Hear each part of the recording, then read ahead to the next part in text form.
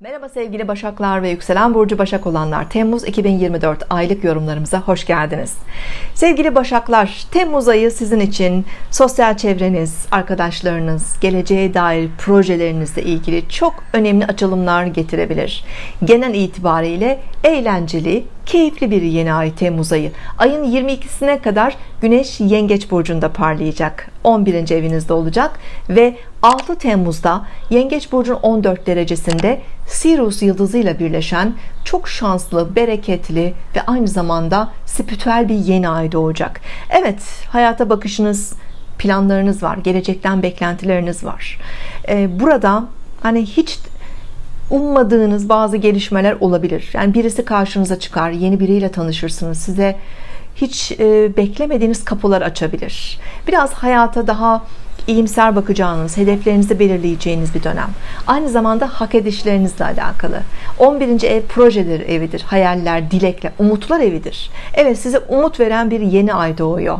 E, hak edişleriniz doğruysa yani bu yeni ay gerçekten çok önemli şanslar. Size destek olacak kişiler, çevreler, karşınıza çıkabilir. Yani var olan arkadaşlarınızdan, sosyal çevrenizden de tabii ki önemli destekler alabilirsiniz. Lütfen kişisel doğum haritalarınıza bakınız. Bu bir öncü yeni ay. Özellikle öncü burçlarda Koç, Yengeç, Terazi ya da Oğlak 14 derece ve yakınlarında kişisel gezegenleriniz bulunuyorsa bu yeni aydan çok daha önemli, çok daha güçlü etkiler alabilirsiniz. Evet, arkadaşlarınızla, sevdiğiniz kişilerle keyifli programlar yapmanız, belki yolculuklar yapmanız mümkün. Güzel bir projeye bir iş projesine başlayabilirsiniz. Ee, çok e, kendinize ait hissedeceğiniz mutlu huzurlu hissedeceğiniz gruplara dahil olabilirsiniz. Organizasyonlara dahil olabilirsiniz. Partiler düğünler nikah törenleri ve benzeri etkileşimler çok olabilir. Ee, bu dönem içerisinde siz de onlara davet edilebilirsiniz katılabilirsiniz. Buralarda önemli tanışmalar da tabii ki söz konusu olabilir.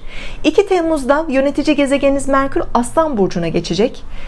Venüs de ayın 11'inde Aslan Burcu'na geçecek. 12. evinize doğru çekilen kişisel gezegenler zaman zaman sizi de biraz böyle yalnızlaşmaya yani biraz böyle kendinizi dinlemeye teşvik edebilir. Aslında bu bir tatil de dönemi. Yani böyle bir uzaklaşmak. Her zaman hani meşgul olduğunuz çalıştığınız ya da rutin hayatınızı geçirdiğiniz yerler dışında biraz izole olmak, başka bir ortama gitmek, tatil yapmak e, gibi anlamlar da getirebilir tabii. Bununla birlikte yaratıcılığınızın da arttığı bir dönem olduğu için işte bol bol kendi kafanızı dinleyebilir, kitaplar okuyabilirsiniz, işte sanatla ilgilenebilirsiniz, bir şeyleri üretebilirsiniz. Bunlar için de güzel fırsatlar karşınıza çıkabilir. Ve e, Mars'a baktığımızda Mars ayın 20'sine kadar Boğa burcunda olacak.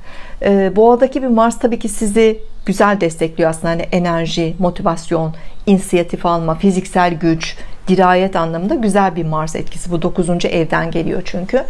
Ee, yolculuklar, seyahatler, hani buralarda da daha aktif olduğunuz bir dönemdesiniz. Ancak ayın 15'ine biraz dikkat edelim. 14, 15, 16 Temmuz gibi Mars Uranüs'te birleşecek. İkisi de kontrolü zor bir e, e, gezegen ve Algol yıldızıyla da birleşeceği için bu da biraz sert bir yıldızdır. Dolayısıyla hani yolculuklarda kazalar, sakarlıklar olabilir. Biraz böyle tartışmalar, iletişim sorunları, özellikle akrabalar ya da eşinizin yakınları, kardeşleri, akrabaları ile ilgili bazı gerginlikler, internet üzerinde, sosyal medya üzerinde olabilecek bazı terslikler olabilir. Ee, bunlara dikkat etmekte fayda var. Özellikle sevgili Başaklar 20'sinden sonra Mars ikizlere geçecek 20'sinden sonra enerjinizi konuşmak, anlatmak, kendinizi ifade etmek, eğitim, seyahatler ve benzeri alanlara daha fazla yönlendirebilirsiniz. Kariyerinizde de tabii ki sizin için daha yoğun bir dönem başlayacak. Özellikle eğitim işinde çalışıyorsanız, iletişimle ilgili bir işiniz varsa, işte trafik, lojistik tarzı işleriniz, reklam, promosyon, halkla ilişkiler tarzı mesleğiniz varsa buralarda Mars sizi çok daha aktif bir hale getirmeye başlayacak. Zaman zaman tabii ki üstlerle ilişkiler, işte aile içerisinde ebeveynlerle ilişkiler biraz daha tartışmalı olabilir, çatışmalı olabilir. E, Mars çünkü size kare açıda olacak. Ayın 20'sinden sonra bu enerjiyi de iyi kontrol etmeye çalışalım e, sevgili Başaklar. 21'inde 29 derece Oğlak Burcu'nda Dolunay var. Bu yılın ikinci Oğlak Dolunayı. İlkini Haziran ayında yaşadık biliyorsunuz.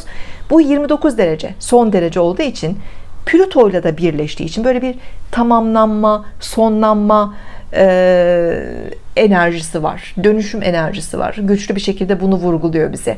Haziran ayındaki bazı konular da iyice bir netleşebilir eğer belirsiz kalan mevzular varsa. Bunlar neler olabilir?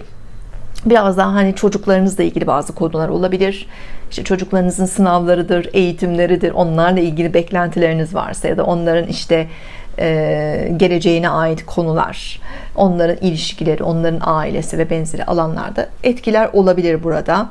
E, hamilelik doğum gibi konularda hani bir netleşme bir e, burada hani sonuç alma söz konusu olabilir. Aşk hayatınızı etkileyebilir.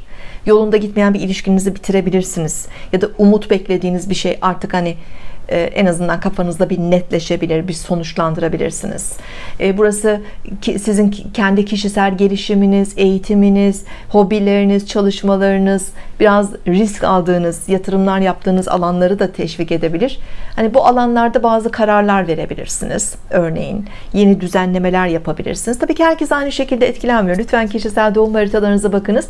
Özellikle öncü burçların son derecelerinde böyle 27 28 29 gibi gezegenleriniz varsa o zaman hani bu dolunaya sizin için etkisi daha güçlü olabilir daha dönüştürücü e, kapatıcı etkiler verebilir. Ayın 22'sinde Güneş Aslan Burcu'na geçecek. Venüs'ün yanına Merkür'ün yanına geliyor. E bu da sizi biraz daha tembelleştirebilir. Biraz daha böyle yalnız kalayım hiçbir şeyle uğraşmayayım dinleneyim modunda olabilirsiniz. Eğer o döneme kadar hala tatil yapmadıysanız işte şimdi tam bir tatil dönemi. Biraz böyle güneşle baş başa kalacaksınız yalnız olacaksınız. Biraz böyle uzak yerlere gideceksiniz. Yurt dışı da olabilir. Örneğin ee, yani kendi kendinize kalacağınız iç sesinizi dinleyeceğiniz bir dönem. 25'inde ise Merkür Başak Burcu'na geçiyor. Evet Merkür burcunuza geçer geçmez yine sizin zihniniz hızlı bir şekilde çalışmaya başlıyor. Tatil bitiyor artık. Düşünüyorsunuz planlıyorsunuz organize ediyorsunuz hesaplar yapıyorsunuz analiz yapıyorsunuz. Çünkü Merkür burada çok güçlü. Tam da sizin yönetici gezegeniniz.